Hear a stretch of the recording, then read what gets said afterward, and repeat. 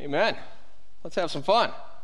They asked me which welcome video I wanted to put on, and I said, Well, Mike tells me to have fun every time I speak, so we're, we're going to do Mike every single time. If I haven't met you yet, my name's Sean. I'm one of the pastors here. I'd like to wish you a, uh, a happy fake spring. It's going to be like 72 today, right? It's fake spring. There's another winter coming. We're going to get two or three feet of snow in the next two weeks. Hey, I'm not speaking it into existence. I'm just speaking from experience, okay? Don't put your coveralls away quite yet. I wish we could. we are going through, great way to start, right? Hey, get ready for the snow. Let's talk about Jesus. we are going through a sermon series as, uh, as a teaching team right now called Familiar Story, Fresh Perspective. And what we've been doing is we're taking uh, stories from the Bible that most people know and we're looking at them through kind of a fresh set of eyes, maybe through a perspective that we're not quite used to looking at it from. And so the story that we're going to be looking at this morning is Jesus feeding the 5,000, and we're going to be in John chapter 6. So if you have your Bibles, either in digital or old school paperback form, why don't you turn with me to John chapter 6? If you're joining us at home or you do not have a Bible, we will have all of the verses available on the screens. A couple of fun facts about John chapter 6 and about Jesus feeding the 5,000. This is the only one of Jesus' miracles that is present in all four Gospels. The only one. You can find it in Matthew, Mark, Luke, and John. Also, this is the first miracle that we see where Jesus actually uses his hands. We've seen him do a few miracles before this. The first one was when he turned water into wine at the wedding at Cana. He did that verbally. And then when he healed the invalid man at that uh, pool at Bethsaida, where all of the uh, invalid people are laying around the pool, and the, uh, the myth of that era was sometimes an angel would come down and stir the pool, and then the first person to come in would get healed. And so Jesus asked this man, Do you want to get well? And the man says, Well, who's going to help me into the pool? People beat me in, the angel's not here. And Jesus says verbally, Get up, pick up your mat, and walk. And Jesus' feeding of the 5,000 is the first time that we actually see him use his hands to perform a miracle. Kind of neat. So before we jump into John chapter 6, let's pray. Lord, would you still our hearts? Would you focus our minds? Lord, come and speak to each and every one of us this morning. God, we want to hear your words. We want to hear your voice. Lord, come and have your way. Amen. So, John chapter 6, the story starts like this in verse 1. Sometime after this, Jesus crossed to the far shore of the Sea of Galilee, that is, the Sea of Tiberias, and a great crowd of people followed him because they saw the signs he had performed by healing the sick. Then Jesus went up on a mountainside and sat down with his disciples. The Jewish Passover festival was near. When Jesus looked up, and saw a great crowd coming toward him, he said to Philip, Where shall we buy bread for these people to eat? He asked this only to test him, for he already had in mind what he was going to do. The first neat thing that we see here in this text is that Jesus sees the problem before anyone else does. No one has said, We're hungry. None of his disciples have said, hey, there's like, there's like thousands of people out there that we're going to have to feed. Can we like make sure we have some kind of contingency plan ready? Jesus saw the problem before anybody else. And going hand in hand with that is that Jesus also had the solution before anybody else. He was not going to be surprised by anything that happened that day. And sometimes we forget that that's true of us too. Jesus is not surprised by our problems, and Jesus is not caught off guard looking for a solution. He is always a step ahead, if not more. He sees the problem before we do, and he has the solution before we even try to think one up. We don't ever have to hope that Jesus will somehow figure it out because he already has. So he asks Philip, he says, Where shall we buy bread for these people to eat? Verse 7 Philip answers him, It would take more than half a year's wages to buy enough bread for each one to have a bite. Another of his disciples, Andrew, Simon Peter's brother, spoke up.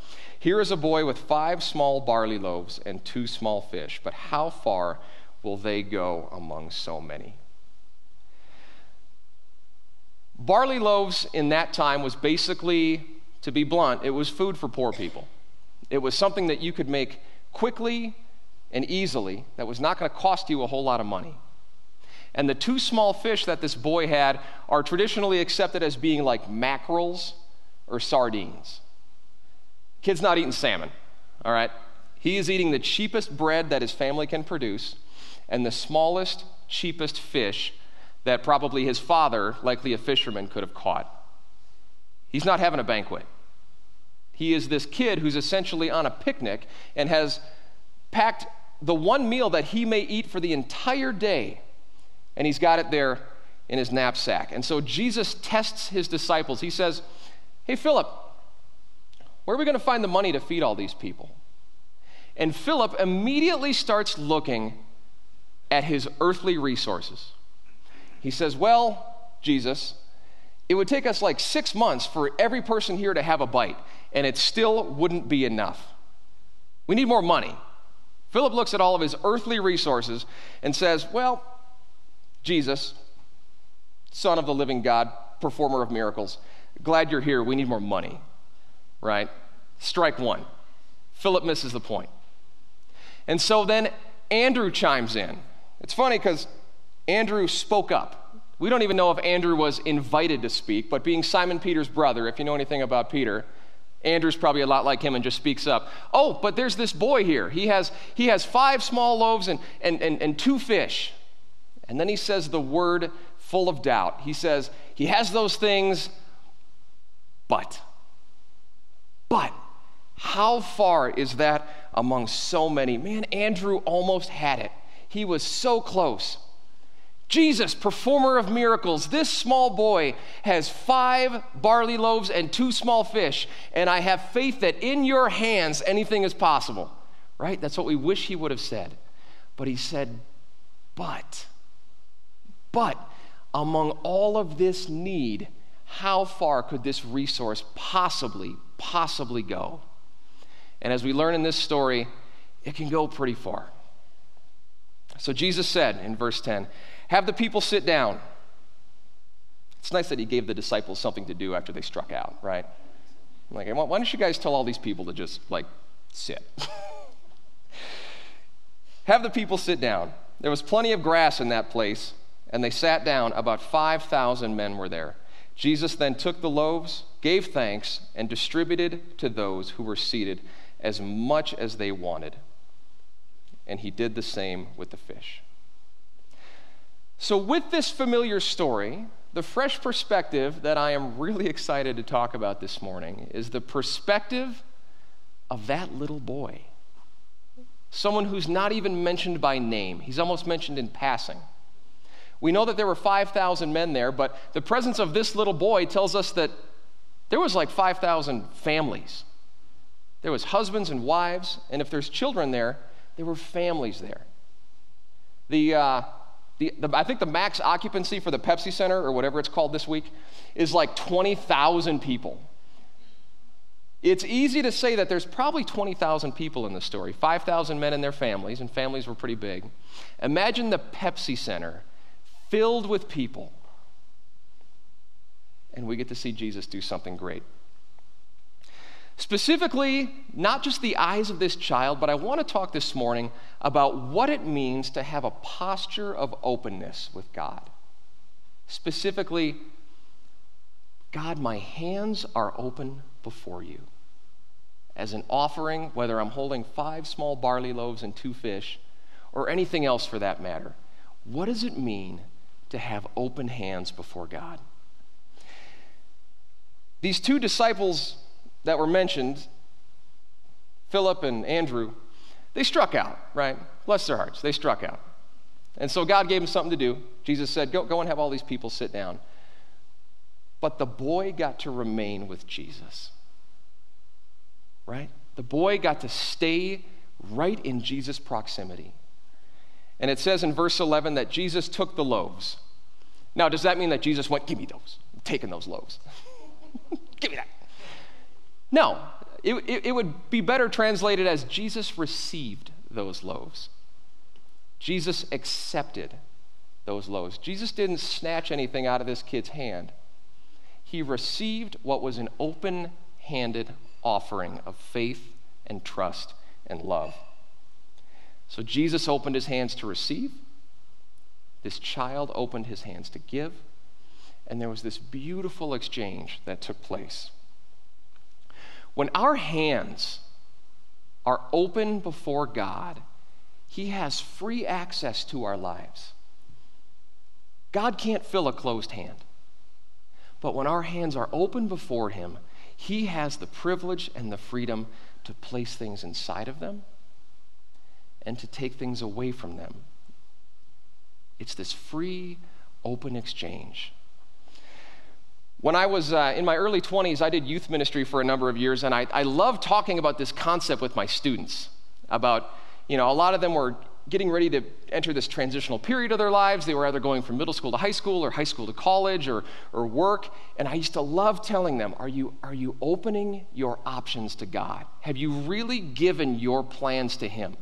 Like this, like, Lord, I'm 18. You can have whatever you want with at least the next four years of my life. I used to love talking about it. And one of the illustrations that I would do is I would ask somebody, one of my students, does anyone have a $5 bill? And so some kid would raise his hand and I would say, Great. Now I want you to understand that I care about you and I have your best interests in mind, and I want you to give me that $5 with the understanding that I will never give it back to you. That's going to be mine. It's going to go in my pocket, and I'm going to take it home at the end of the day, and you will not get that $5 back. And usually, one of the braver kids who knew that I was up, up to something would come up and say, All right, here you go. And I'd say, Cool, thank you. Put it in my pocket. He'd sit back down, and I'd finish with whatever my message was. And I could see him get visibly more uncomfortable as the time went by. Because, like, you know, $5 in the life of a middle schooler in 2005, is, that, that's a lot of money, right? And he's getting more and more uncomfortable and more and more uncomfortable. And I'm talking about the importance of trusting God with open hands. And so at, at the end of my message, I would always call him back up and I'd give him 10 bucks. Right? I fulfilled my promise that I was not going to give him back his $5. Now, am I preaching some sort of financial success, prosperity gospel this morning? No, I'm not. I am not doing that. But I'm talking about the trust and the freedom to offer something up to God knowing that He has our best interests in mind. Now, on the other side of that coin of having open hands is what happens when we close our hands off from God. Now, first of all, God cannot bless us. He cannot place things into our hands when we are clutching them against our chest and saying, Lord, no. Lord, you can't have it. Don't touch it. Stay away from me. God cannot bless a closed hand. On the other hand, if there's something in our hands that maybe we want to keep, like a green Sharpie, if there's something in our hands and I am clutching onto it with everything I have, and the Lord wants to take it away, He's still going to win, right? The thing that's different is that when this is gone, I'm going to have some sore and broken fingers. So, what's better? If I clutch onto the things that I hold dearest like this,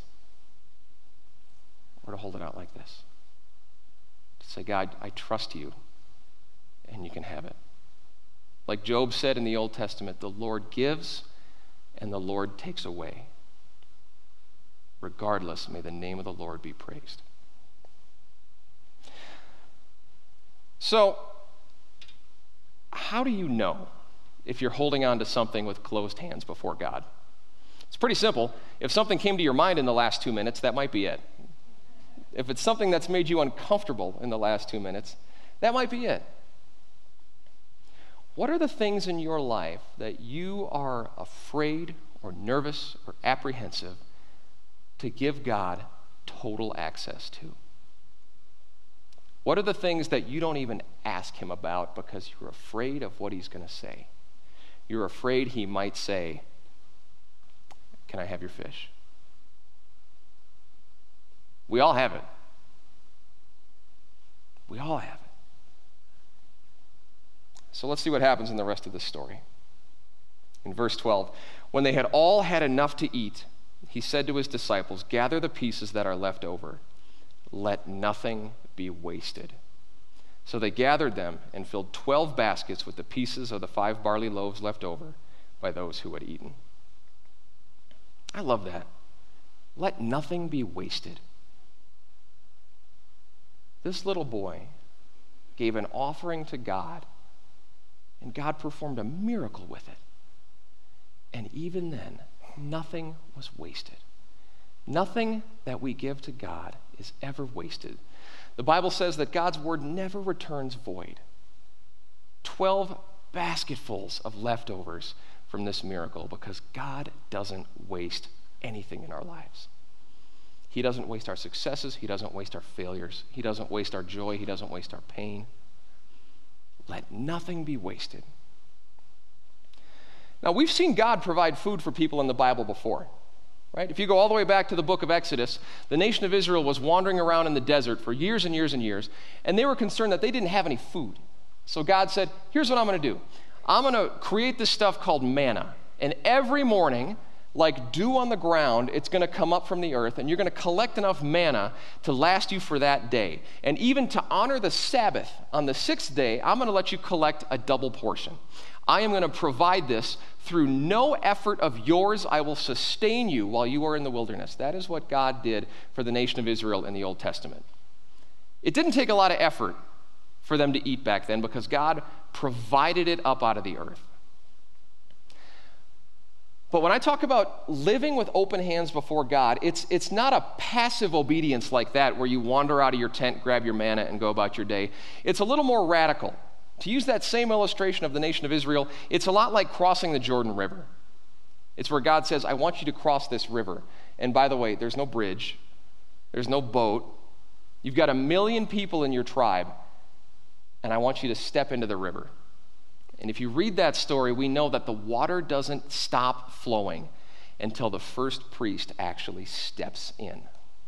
That's the kind of active, radical faith that it takes to give the nearest and dearest things of our heart to God and say, I trust you with this. I trust you with this. Radical obedience always precedes God's radical provision. I'm going to say that again because I think it's kind of important. Radical obedience always precedes God's radical provision. And let's see how this story ends. After the people saw the sign Jesus performed, they began to say, Surely this is the prophet who came into the world. Jesus, knowing that they intended to come and make him king by force, withdrew again to a mountain by himself. The person who was blessed most out of all those 5,000 families was that little boy because he got to take his meager offering Sometimes we think that our giftings or our talents or the things that we're going to offer to God are kind of meager. What could God possibly do with what I have? What could God possibly do with who I am? And this little boy took a lunch made for a poor kid and gave it to God. And he got to see the Lord give thanks and break it and bless and bless and bless and bless. thousands and thousands of people were fed in this miracle because of just a little obedience by a little kid who wanted to give Jesus everything he had, even though in his eyes it probably wasn't much. God loves using little people to do big things.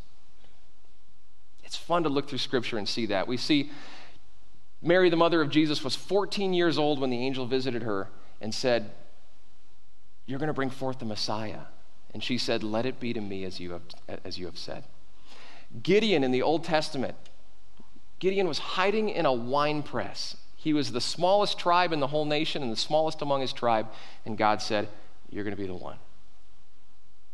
He loves choosing small people to do big things because you cannot channel God's power until you first acknowledge your own powerlessness.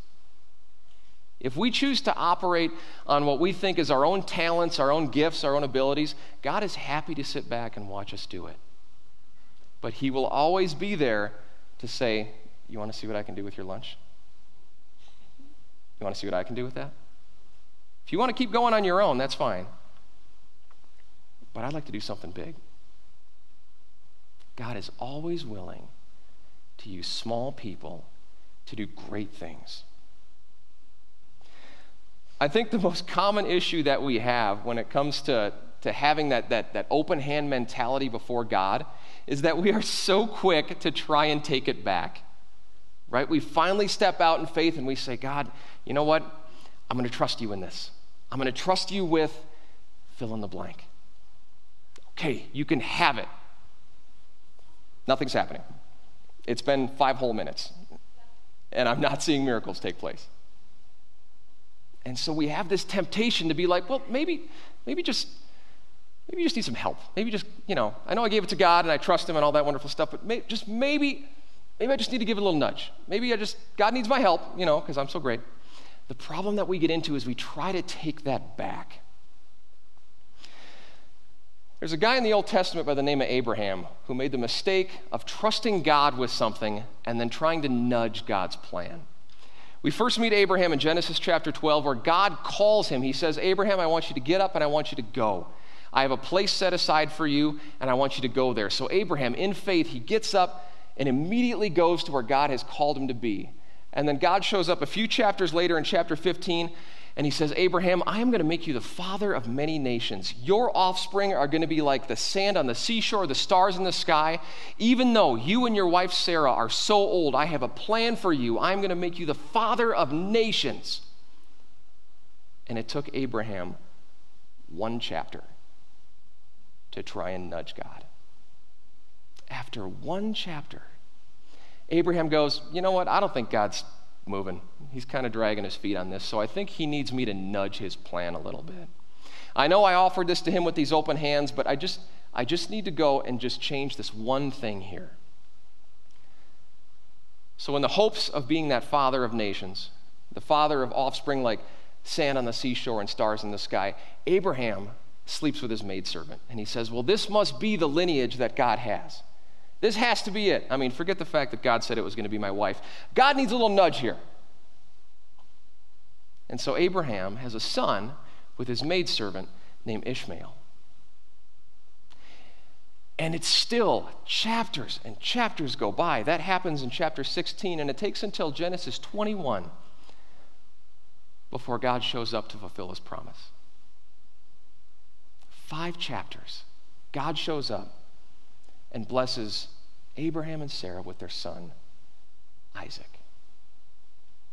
If you do the math, it was 25 years from when God made that promise to when God fulfilled it. God still fulfilled his promise. But when we try to nudge God's plan, we get Ishmael's instead of Isaac's.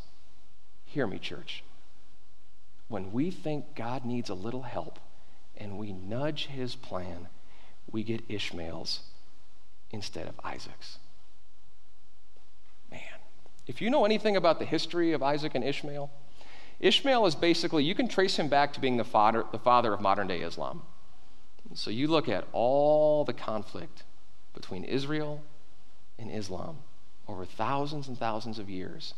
It came because Abraham decided to nudge God, decided that God's promise and God's plan needed a little help. Man, when we, when we try to nudge God's plan, we get Ishmael's instead of Isaac's. And then we have to deal with the fallout. We get the fruit of our broken efforts instead of the fulfillment of God's beautiful promise.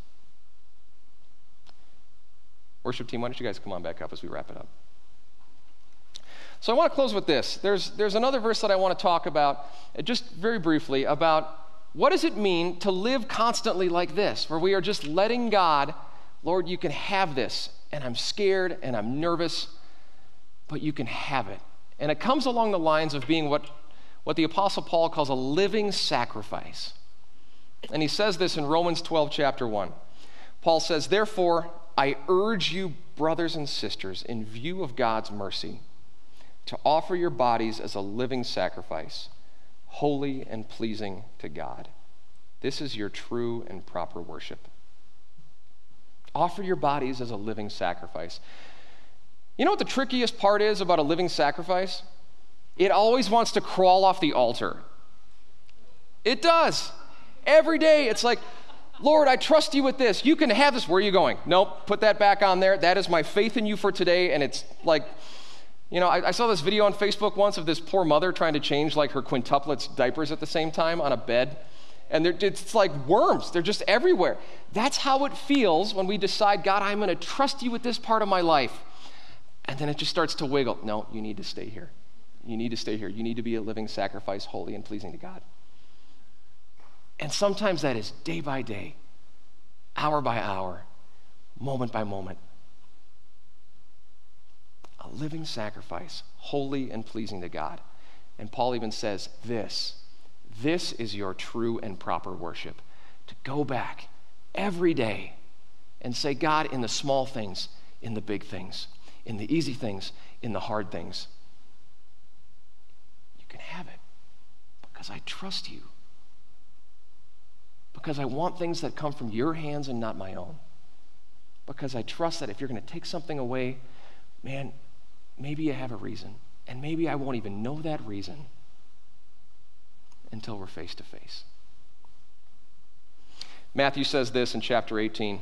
Jesus says, Truly I tell you, unless you change and become like little children, you will never enter the kingdom of heaven. Jesus loved little kids. They were always running up to him in the Bible. How cool is that? Unless you have faith like these little children, we're not going to see God's kingdom break out on the earth. Man, it's a challenge and it's hard. But I pray that we could see God moving in our lives the way he moved through that little boy, and that we get to stand there and see him take our meager offering and bless the multitudes with it. Amen? Amen. Can we stand together? So, we're going to spend some time in worship. We're going to close a little bit. And I say it every time I'm up here worship is always a response, it is never something that we have to initiate.